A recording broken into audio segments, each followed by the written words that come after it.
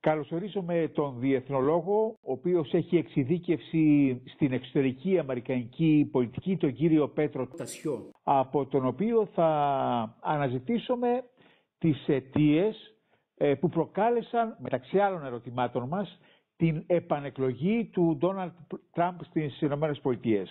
Καταρχήν να σας καλωσορίσω στο News Hub και ευχαριστούμε για την αποδοχή της πρόσκλησης. Ευχαριστώ πάρα πολύ για την πρόσκληση.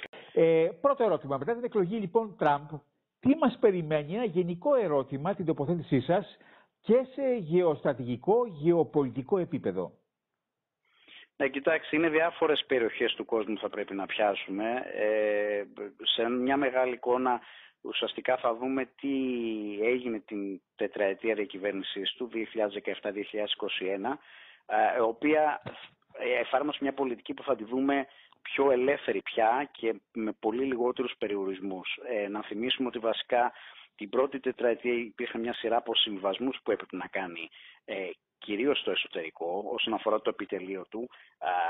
υπήρχε το λεγόμενο το American First Foreign Policy το οποίο προσπάθησε να το εφαρμόσει κάνοντας όμως μια σειρά βασικά θα έλεγα από παραχωρήσεις όσον αφορά και το προσωπικό το οποίο επέλεξε, δηλαδή τη γραφειοκρατία, αλλά όσον αφορά και το πώς μπορούσε να εφαρμόσει ε, τα μέτρα ε, στους ε, διάφορους τομείς στο παγκόσμιο χάρτη.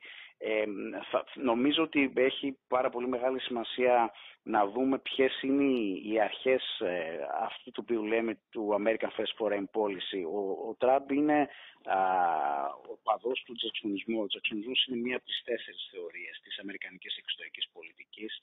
Ουσιαστικά είναι μια α, με προσέγγιση η οποία ακουμπά ε, σε μία ε, πολύ περιορισμένη παρεμβατική πολιτική ανά τον κόσμο. Δηλαδή, οι παρεμβάσεις των ΗΠΑ σε θέματα ε, γεωστρατικά γίνονται μόνο όταν διακυβεύεται άμεσα το εθνικό συμφέρον α, των ΗΠΑ. Ε, επίσης, έχει να κάνει με τη λεγόμενη α, ειρήνη μέσω της ισχύς, το peace uh, through strength, το οποίο το είδαμε επί Roland Reagan, εφαρμόστηκε και επί Τραμπ στην πρώτη τετραετία, θα το δούμε και αυτό έχει να κάνει με μια εσωστρέφεια υπό την έννοια ότι α, δίνεται έμφαση σε ζητήματα εσωτερικής τάξης και ενίσχυσης της οικονομίας, ε, εμπορίου και τεχνολογίας α, που τα τελευταίες δεκαετίες είχε περιοριστεί λόγω της, των μορφών της τυχών της παγκοσμιοποίησης, ε, οποίες είχαν γυρίσει μπούμεραγκ ε, μέσα στην ίδια τη χώρα, δηλαδή ε, από βιομηχανοποίηση, στροφής ε, των ε, μεγάλων εταιριών προς την Ασία, κυρίως βασικά της Κίνας, μεταφορά παραγωγής. Αυτό λοιπόν το πρώτο το οποίο ο Τραμπ θα καταφέρει, θα προσπαθήσει να κάνει και εν μέρει τα κατάφερε στην είναι να κάνει επαναπατρισμό επιχειρήσεων, από την Άπο Ανατολή, κυρίως από την Κίνα ε, στις ε, Ηνωμένες Πολιτείες. Επίσης μια σειρά από δασμολογικά μέτρα, τα οποία τα είδαμε και την πρώτη τετραετία, γι' αυτό έχει αναγγείλει και δασμούς 60%. Ε, ίσως μια ε, πολιτική επίσης περιορισμού ε, ορισμένων ε, τομέων της ευρωπαϊκής οικονομίας. Νομίζω όμως εκεί αυτό το 10% το οποίο λέει σε δασμούς θα υπάρχει ένας ε, συγκερασμός, υπάρχει ένας συμβασμός. Το είδαμε και στην προηγούμενη τετραετία. Υπήρχε μια εμπορική συμφωνία με την Ευρώπη. Ε, και ε, όπως εκλέχθηκε με βάση το κριτήριο της οικονομίας, θα κινηθεί στο κομμάτι ε, τους άσκηση πολιτικής με βάση την οικονομία ε, παγκοσμίως σε μια σειρά από πάρα πολλούς τομείς, κυρίως βασικά στο κομμάτι της τεχνητής νοημοσύνης, δηλαδή υψηλής τεχνολογίας, στο κομμάτι του ενεργειακού και στο κομμάτι βασικά ε, του εμπορίου. Τώρα, αν θέλουμε να πιάσουμε θεματικά, ε, την, την, γεωγραφικά την κάθε περιοχή, η στροφή η οποία έχει γίνει στην Αμερικανική εξωτερική πολιτική από το 2012, ε, κυρίως όμως από το 2017 και μετά είναι ο Ονδεωρινικός, είναι η Ασία. Δηλαδή εκεί που υπάρχει η Κίνα, η οποία αμφισβητεί ως αναφερετική δύναμη τη ΗΠΑ. Άρα κατά αυτόν τον τρόπο λοιπόν ε, θα προσπαθήσει να περιορίσει την Κίνα ε, ε, ακόμη περισσότερο. Να πούμε ότι η προσπάθεια ενάσυσης της Κίνας είναι δόγμα της Αμερικανικής εξωτερικής πολιτικής μετά ουσιαστικά το 2012, το double containment, δηλαδή διπλή ανάσχεση, πρώτον λαθάνος ανάσχεση εναντίον της Κίνας και λαθάνος ο περικύκλος όσον αφορά της Ρωσίας. Άρα θα επικεντρωθεί δοθεί βασικά στην Κίνα με μια σειρά από μέτρα και στο κομμάτι φυσικά που αφορά την Ταϊβάν, οποία να θυμίσουμε ότι η Ταϊβάν δεν είναι μόνο ότι αποτελεί κομβικό κράτος σημασίας για τις εμπορικούς διαδρόμους, ε, το θαλάσσιο έλεγχο θαλάσσιου περάσματος, αλλά είναι και τα κράτη που είναι κομβική σημασίας για την κατασκευή ημιαγωγών, το οποίο είναι το νέο πετρέλαιο ε, ουσιαστικά στην, ε, στην οικονομία. Από, την, ε, από την Ασία λοιπόν μετά η στροφή θα δοθεί η προσοχή στο κομμάτι της Ευρώπης. Στην Ευρώπη έχει δύο κομμάτια ο Τραμπ να ασχοληθεί. Το ένα είναι το κομμάτι το γεωστρατηγικό, δηλαδή το τέλος του πολέμου στην Ουκρανία που έχει υποσχεθεί. Ο λόγος που ζητάει το τέλος του πολέμου στην Ουκρανία είναι διότι θεωρεί ότι σε μια τριγωνική σχέση ε, Κίνας-Ρωσίας Πολιτειών η, η Ρωσία θα πρέπει να ουδετεροποιηθεί. Δηλαδή προκειμένου να, να περιορίσει την Κίνα θα πρέπει η Ρωσία να μην πάρει το μέρος της Κίνας όπως έχει γίνει τώρα επί προεδρίας Biden ουσιαστικά έχει αναγκαλιστεί με την Κίνα για να μπορέσει λοιπόν να στρέψει όλες τις δυνάμεις του εναντίον της Κίνας. Θεωρεί βασικά ότι η, η Ευρώπη δεν είναι ε, γεωγραφική περιοχή ιδιαίτερης σημασίας πια για τις ε, ΗΠΑ. Δηλαδή στην Ουκρανία δεν βλέπει ότι διακυβεύεται κάποιο ε, ε, αμερικανικό συμφέρον και γι' αυτό ζητάει βασικά τον τερματισμό του ώστε να μπορέσει βασικά και να διοχετεύσει πόρου σε άλλες πιο κρίσιμες περιοχές του διεθνούς συστήματος. Τώρα, στο κομμάτι της Μέσης Ανατολής, που είναι η τρίτη περιοχή, που περιλαμβάνει και την Ανατολική Μεσόγειο και εμάς, αυτό το οποίο πιστεύω ότι θα δούμε είναι μια επιτάχυνση των διαδικασιών ε, στις, στα πολεμικά θέρετρα, δηλαδή νομίζω εκεί θα δώσει μια ακόμη μεγαλύτερη ε, ελευθερία κινήσεων στον Νετανιάχου, αλλά θέτοντας όμως και ένα συγκεκριμένο πλαίσιο ε, στο πώς μπορεί να τελειώσει αυτή η σύγκρουση, που είναι εναντίον ουσιαστικά των αντιπροσώπων του Ιράν, αλλά και ποιο θα είναι η μετά ε, του τέλους πολέμου ε, κατάσταση στην περιοχή. Γιατί ο Τραμπ ως πραγματιστής θέλει να ξέρει και το πώς θα οικοδομηθεί η περιοχή μετά, δηλαδή και η γλωρίδα βασικά ε, ε, της ε, Γάζας και κατά πόσο μπορεί να υπάρξει μια αυτόνομη παλαιστινική αρχή, η οποία θα είναι πια βιώσιμη. Το Ιράν σίγουρα θα υποστεί πάρα πολύ μεγάλη πίεση, άλλωστε είχε γίνει και την πρώτη περίοδο, τη 2017-2021, δηλαδή να θυμίσουμε ότι το Ιράν ο επιπροεδρίας Τραμπ ε, ουσιαστικά πήρε γύρω στις 1.500 κυρώσεις οικονομικές. Ε, το αποκόψαν το, από το σύστημα τραπεζικών συναλλαγών. Ε, δεν υπήρξε ε, ουσιαστικά πώληση ε, πετρελαίου και φυσικού αερίου σε χώρες οποίες ήταν στο στρατόπεδο των ΗΠΑ, διότι φοβήθηκαν τις κυρώσεις και ουσιαστικά κυρώθηκε το πρόγραμμα της πυρηνικής συμφωνίας που είχε υπογραφεί το 2015 επί Μπαράκ Ομπάμα. Κλείνοντας την ερώτησή σας, θα σας πω τι γίνεται στα του οίκου μας. Δηλαδή τι γίνεται στην Ήταν Ελλάδα. Ήταν επόμενη ερώτηση, ναι. ναι, ναι. Γιατί αυτό, παρακαλώ, γιατί στρατηγικά στην πρώτη θητεία ο Τραμπ είχε χτίσει μία, με τον Ερντογάν μια ισχυρή σχέση. Άλλωστε δεν ξεχνάμε ότι και ο γαμπρός του Τραμπ είχε επιχειρηματικά συμφέροντα στην Τουρκία. Ε, τι μας περιμένει εμάς; Ναι, κοιτάξτε, εδώ υπάρχει λίγο μια παρανόηση. Ε, δεν θα πω παραπληροφόρηση κατά ανάγκη, αλλά υπάρχει μια παρανόηση. Ο Τραπ προφανώς έχει κάποια επιχειρηματικά συμφέροντα στην Τουρκία, όπως έχει και σε άλλες χώρες βέβαια. Έτσι. Δεν είναι μόνο η, η γειτονική χώρα. Από εκεί και πέρα όμως, ε, από το 2017, αυτό το οποίο εφαρμόστηκε στην, ε, στην περιοχή ήταν η διαδικασία παράκαμψης τη Τουρκίας. Η Τουρκία λοιπόν το 2016 κατάλαβαν οι Ηνωμένες Πολιτείες τις τελευταίες μήνες της θητείας του Μπαράκ Ομπάμα ότι έχει στραφεί εναντίον των Ηνωμένων Πολιτειών, ε, αντιστρατεύεται τα αμερικανικά συμφέροντα, εναγκαλίζεται με τους στρατηγικούς ανταγωνιστές Ρωσία, ε, Κίνα, ε, Ιράν και είναι σε μια συγκρουσιακή σχέση. Μάλιστα ο Ομπάμα είχε πει τις τελευταίες μέρες πριν να αποχωρήσει και παραδώσει τη θητεία στον Τραμπ. Δεν μπορώ να καταλαβαίνω γιατί μια συμμαχική, ένα συμμαχικό κράτος όπω η Τουρκία μας φέρεται έτσι. Και ήταν το τέλος των ψευδεσίσεων. Ότι δηλαδή μπορεί η Τουρκία να παραμείνει στο δυτικό στρατόπεδο ως Ισλαμικό κράτος. Ε, η Τουρκία έχει παρακαμφθεί ε, από, την, από τον Αμερικανικό πολιτικό σχεδιασμό διότι ακριβώς αντιστρατεύεται τα αμερικανικά συμφέροντα. Η Τουρκία ζητά μια ε, ηγεμονία περιφερειακή. Αυτό φυσικά οι ΗΠΑ δεν μπορούν να το δεχτούν. Αυτό έγινε περίοδο Τράπομπε, 2017-2021. Να θυμίσουμε βασικά ότι αναπτύχθηκε η εταιρική στρατηγική σχέση Ελλάδα-ΗΠΑ που δεν είχαν φτάσει ποτέ σχέση των δύο χωρών σε τόσο ψηλό επίπεδο.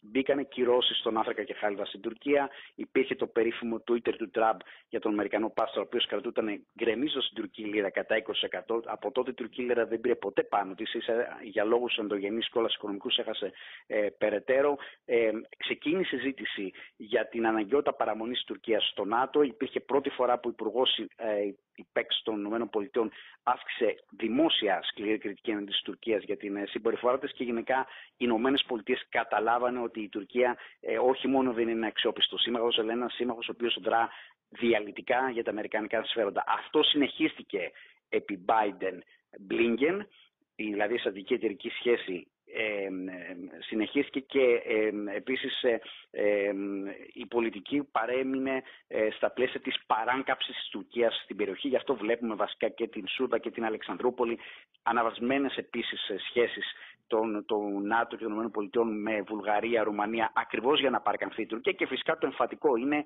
ε, το Ισραήλ. Ε, άρα λοιπόν αυτό το οποίο εμείς θα περιμένουμε με τη νέα ε, Προεδρία Τραμπ ε, είναι ότι παραλαμβάνει τις σχέσεις Τουρκία-ΗΠΑ στο επίσης πολύ χαμηλό επίπεδο, δηλαδή πολύ χειρότερο από ό,τι άφησε το 2021. Ενώ είναι αντιστρόφως ε, ανάλογη η διαδικασία με εμάς. Έχει συνεχιστεί αυτή η, η συμμαχική σχέση η Ελλάδα και η Κύπρος έχει γίνει χώρα πρώτης γραμμής για τα αμερικανικά συμφέροντα.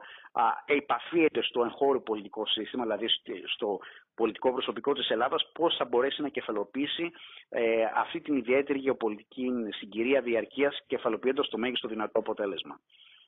Εξαιρετική η παρουσίαση, η ανάλυση που μας δίνεται. Κύριε Κασχέ, το Ινωμερικανικό λόμπι πώς θα κινηθεί επί λέτε.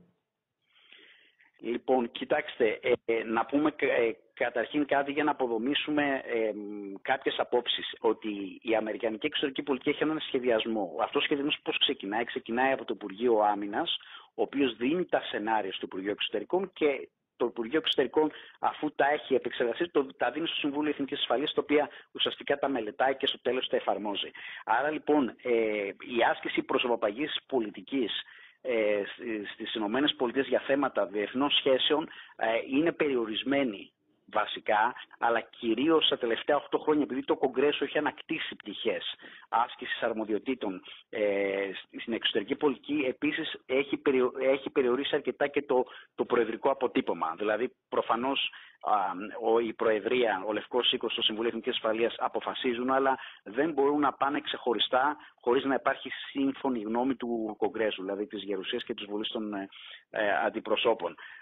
Άρα λοιπόν, ε, σε αυτό το πλαίσιο, το Ελληνοαμερικανικό Λόμπι έκανε μια εξαιρετική δουλειά τα τελευταία 8 χρόνια, δεδομένου ότι υπήρχε ταύτιση συμφερόντων και υπάρχει μεταξύ ΗΠΑ και ε, Ελλάδας, προφανώς βγαίνει ενισχυμένο από αυτή τη διαδικασία και υπάρχουν και μία σειρά από ε, ε, ομογενείς όπως είναι ο Γκάς Μπληράκης και η Νικόλ Μαλωτάκη, οι οποίοι είναι, είναι φίλοι του Πρόεδρου Τραμπ, οι οποίοι είναι κοντά του ε, και επίσης θα πούμε ότι και οι, οι ομογενειακές οργανώσεις τα τελευταία χρόνια ήταν πιο αναβαθμισμένες όπως το ΧΑΛΚ του Έντι Ζεμενίδη, κάνανε εξαιρετική δουλειά.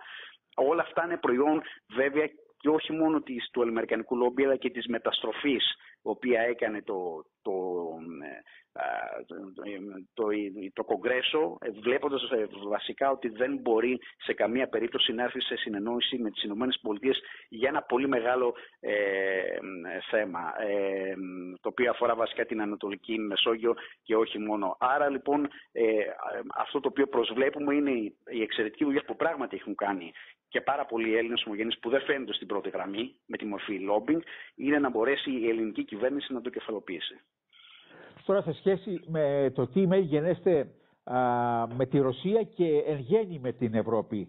Το πιστεύω το είναι στους Ευρωπαίους ότι όσο δεν προσφέρετε από τους προϋπολογισμούς σας αγαπητοί σύμμαχοι ε, Ευρωπαίοι στον προϋπολογισμό του ΝΑΤΟ, εμείς θα σταματήσουμε ίσως και να αποκόψουμε την συμμαχική στήριξη απέναντι σας. Από την άλλη πλευρά, με τη Ρωσία, η πρώτη θητεία έδειξε ότι υπήρχε μια στενή σχέση. Άρα, ο στόχος Τραμπ θα συνεχιστεί αναφορικά με το να σταματήσει το γρηγορότερο δυνατό ο ρωσο-ουκρανικός πόλεμος εις βάρος της Ουκρανίας, όπως δείχνουν τα πράγματα. Ναι, να πιάσουμε λίγο το κομμάτι της ευρωπαϊκής ασφάλειας και άμυνας. Η, η, Ευρώπη θεωρείται βασικά ως ένα προτεκτοράτο των ΗΠΑ σε θέματα ε, γεω, γεωστρατηγικά. Είναι αυτό που είχε πει ο Πρενζίσκι, έτσι στη Μεγάλη Σκακέρα, ο Σύμβουλος Εθνικής Ασφαλείας επί Κάρτερ, ουσιαστικά αποτελεί το, ε, το πέρασμα για την ε, κυριαρχία στην Ευρασία. Οι, οι Ευρωπαίοι δεν θέλουν να αναπτύξουν κοινή, ε, κοινή ή ενιαία αμυντική ε, ταυτότητα δική τους ξεχωριστή. Θέλουν πάντα να είναι υπό την ομπρέλα του ΝΑΤΟ και αυτό βασικά ο λόγος ο οποίος είναι διότι δεν δαπανούν για την άμυνα και την ασφάλεια. Είχε μπει το πλαφόν του 2%, δηλαδή πρέπει να επενδύσει στο, σε θέματα άμυνας στο 2% το καθάριστο εθνικού προϊόντος. Αυτή ήταν η διάσκεψη της Ουαλίας το 2016 του ΝΑΤΟ. Αυτό το τήρησαν ελάχιστες χώρες, ακόμη και προηγμένες οικονομικά και μηχανικά χώρες όπως η Ολλανδία, όπως η Γερμανία.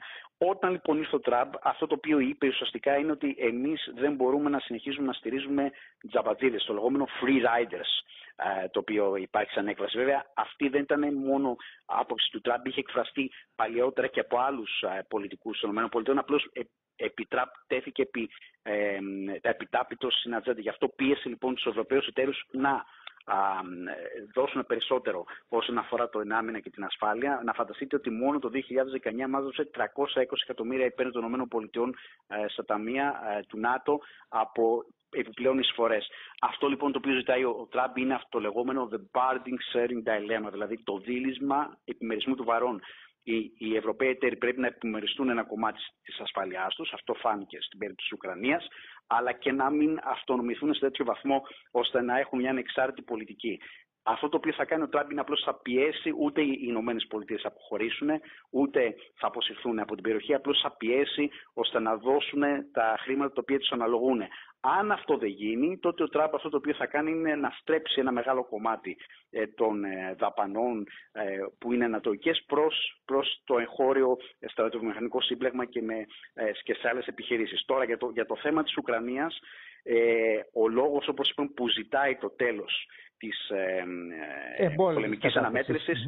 Είναι για να μπορέσει βασικά στρατηγικά, όχι φυσικά δεν υπάρχει καμία είδους αυτό που λέμε ε, πρόσωπο παγής σχέσης, είναι μια θεώρηση εξωτερικής πολιτικής, η οποία είναι ε, όχι πλειοψηφούσα, αλλά είναι αυτή που προσπάθησε να εφαρμοστεί την προηγούμενη τετραετία 17-21, που λέει βασικά ότι θα πρέπει να στρέψουμε την προσοχή μας εναντίον της Κίνας. Και όσο δίνουμε χρήματα πόρους και ενέργεια ε, στην ε, Ουκρανία για να κάνουμε πόλεμο κατερβίσεις της Ρωσίας τόσο ε, χάνουμε το στόχο που είναι βασικά η Κίνα. Γι' αυτό λοιπόν ζητάει και μια είτε ειρηνευτική συμφωνία είτε ένα πάγωμα της σύγκρουσης μιας ελικολόγηση στην Ουκρανία.